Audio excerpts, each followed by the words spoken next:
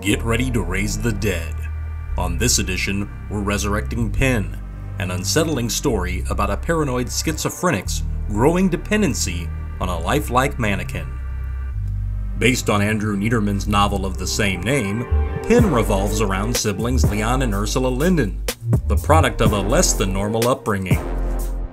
Mother's an obsessive clean freak, and father's cold and distant, except when throwing his voice as Pin. Short for Pinocchio, Pin is Dr. Linden's translucent life-size medical dummy who never tells a lie. Father's talent for ventriloquism provides the bedside manner he lacks in normal interaction. Pin buys the kids presents for their birthdays and educates them on the birds and the bees.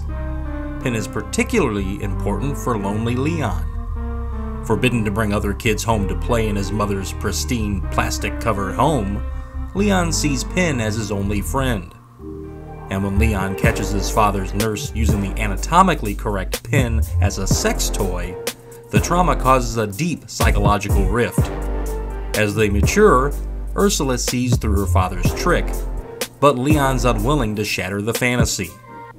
When Dr. Linden catches 18 year old Leon holding conversation with Pin, he's not exactly happy to see that his son has inherited his gift for ventriloquism. Disturbed by the revelation, he attempts to dispose of Pin before his frazzled nerves result in a fatal car crash that claims both parents. Leon pulls Pin from the wreck and is determined to create an idyllic life with him and Ursula.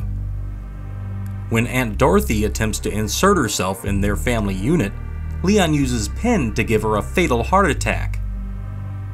Without prying eyes, Leon gives Pin skin, hair, and his father's old clothes, which somehow increase the dummy's creep factor.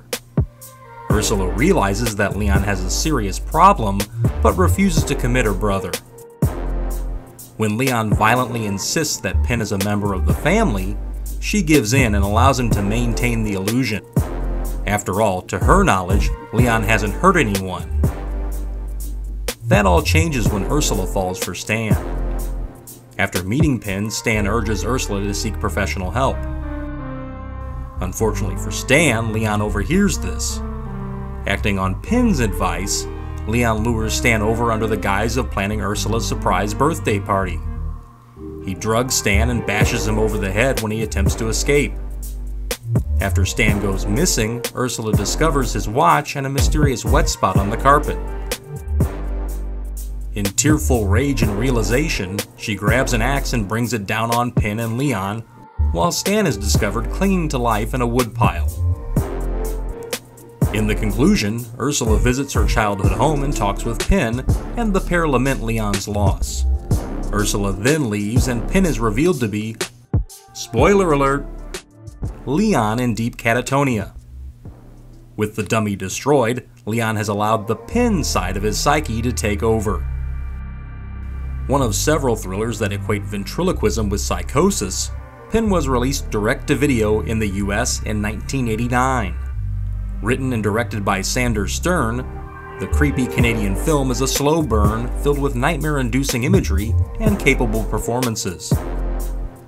English actor David Hewlett garners sympathy as disturbed Leon, and Cynthia Preston provides a capable audience surrogate in Ursula. Elsewhere, Terry O'Quinn, better known as the psycho of the Stepfather films, appears as Dr. Linden. And Breaking Bad star Jonathan Banks provides Pin's voice.